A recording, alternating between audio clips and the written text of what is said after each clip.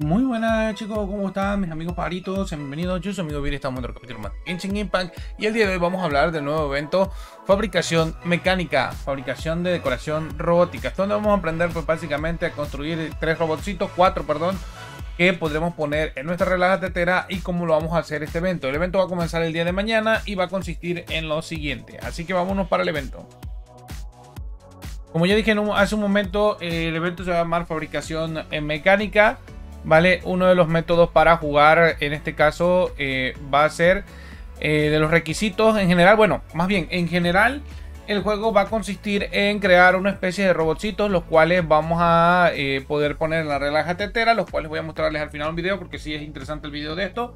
Y que si bien van a tener ciertos movimientos, va a ser una especie de juego al azar con el cual vamos a obtener diferentes robotcitos que van a tener diferentes mecanismos y vamos a, según la descripción y la información que nos han dado, va a haber un pequeño porcentaje donde nos pueda salir un robotcito que tenga todos los movimientos generales de ese robot. Con lo cual, pues bueno, vamos a poder también intercambiarlo. Si no lo conseguimos uno, pues bueno, si a algún compañero le salen dos de esos, pues bueno, podrá intercambiarlo también eh, entre los regalos para, pues, obviamente, que todos tengamos los cuatro o cinco, no sé cuántos modelos vayan a hacer, con todos los movimientos de esos robots. Vale. Posterior a eso, chicos, vamos a ver los requisitos del evento, el cual eh, va a comenzar desde el día de mañana, 29 de junio a las 10 de la mañana, y va a terminar, perdón, al 11 de julio del 2022. Esto que quiere decir que vamos a tener aproximadamente eh, unos 10 días, poco más de dos semanas, de dos semanas para poder, pues obviamente, obtener todos los eh, y obtener esas protogemas y que no se pierdan. Para aquellos que no han completado el pase de batalla, pues también va a traer experiencia. Si nosotros hacemos el evento de oro completo, nos va a dar experiencia en el pase de batalla, con lo cual, pues bueno, viene bastante bien para aquellos que no han terminado el pase de batalla. Eh, requisitos para el evento, haber alcanzado el nivel 30 o superior, haber completado la misión El plan de video Rito, que este ya la sabemos.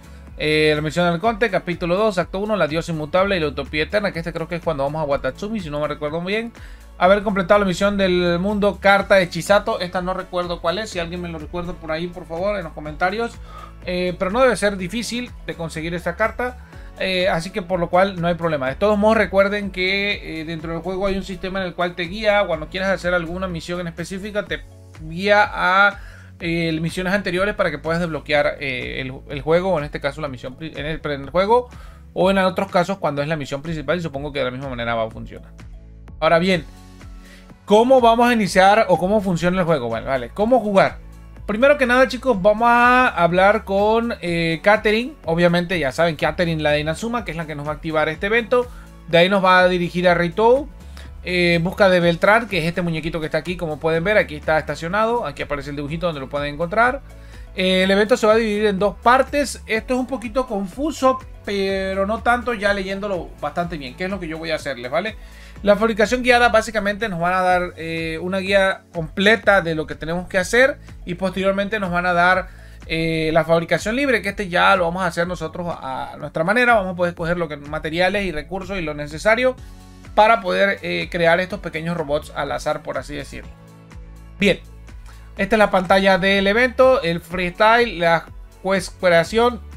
Estas juez son lo que nos va a pedir el tipo para que nosotros podamos construir eh, esos robotcitos, los productos de archivo o los archivos de producto, que básicamente son todos los robotcitos, vamos a poder ver cuáles hemos conseguido y las recompensas del desafío.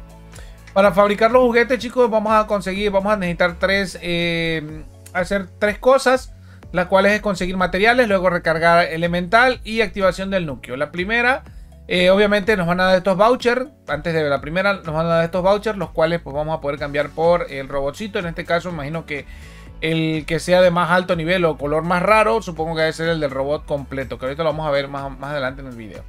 ¿Vale? Eh, las recompensas aquí las tenemos. Y ahorita vamos a ir a la guía completa. Las recompensas pues bueno van a dar protogemas, libros, mora. Ya saben lo típico. ¿Vale?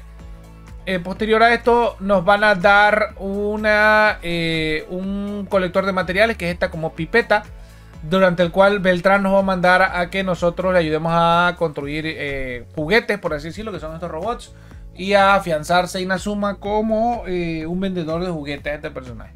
¿Cómo lo vamos a hacer? Bueno, con ese colector nos va a mandar a recoger materiales específicos, los cuales pues, obviamente van a ir llenando la botella, como podemos ver ahí aquí.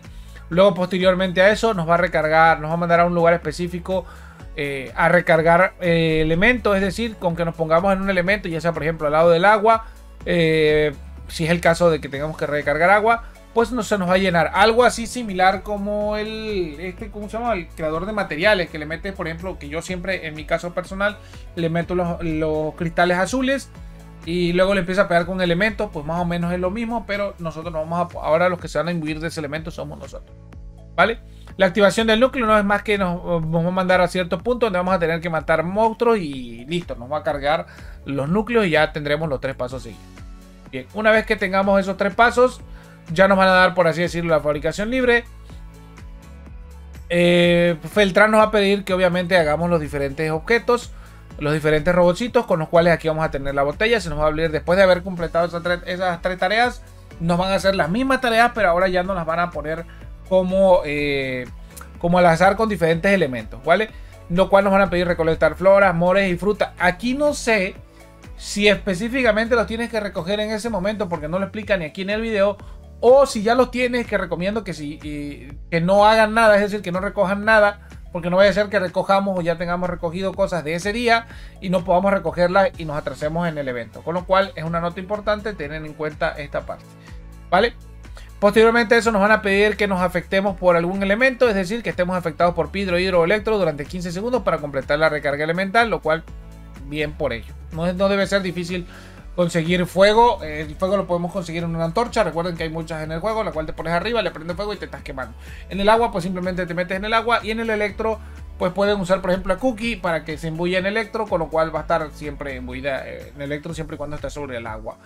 Eh, ¿Qué otra cosa electro? Bueno, un slime, slime piro, pueden conseguir un slime electro, un slime de agua, etcétera, ¿vale? Con lo cual, pues se puede imbuir de esos elementos. Inclusive slime dentro, sería interesante probar el slime dentro, ahora que se me, se me viene, porque ese tira tira como un. No sé si es el maguito o, es el dentro que tira como una cosita ahí que te aparece el dentro y te va como bajando vida, o si no recuerdo exactamente.